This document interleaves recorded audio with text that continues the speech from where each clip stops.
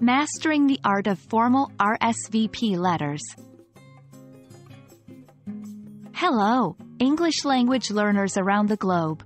Today, we are focusing on an important and often overlooked part of written communication formal RSVP letters.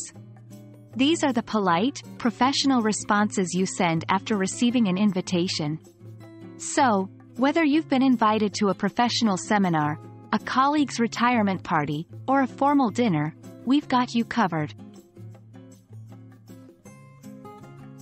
A formal RSVP letter is a written response to an invitation for a formal event. RSVP stands for Répondez s'il vous plaît, which is French for please respond. Therefore, it's an opportunity to confirm your attendance, politely decline, or express your regrets if you are unable to attend.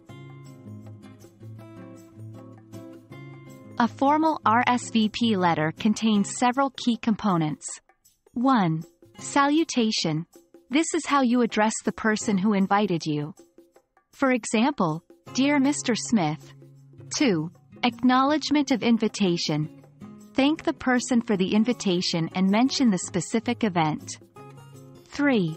Response to the invitation. Confirm your attendance or politely decline. 4. Closing remarks. Wrap up the letter with a closing remark and your signature. Remember, maintain a respectful and professional tone throughout the letter. Now, let's put these components together.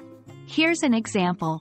Dear Mr. Smith, thank you for your kind invitation to the annual business seminar on September 12th. I am pleased to accept your invitation and look forward to attending. Kind regards. Your name. Take note. The language is clear, polite, and succinct. No extra fluff. Here are some tips for writing a strong RSVP letter. Be prompt. Respond as soon as possible. This helps the event organizer with planning and shows respect for their efforts. Be clear. Clearly state whether you are accepting or declining the invitation. Keep it concise. Keep your RSVP letter brief and to the point. You don't need to provide a detailed explanation if you cannot attend. That's all about formal RSVP letters. Remember, the key to a great RSVP is to be prompt, clear, and respectful in your response.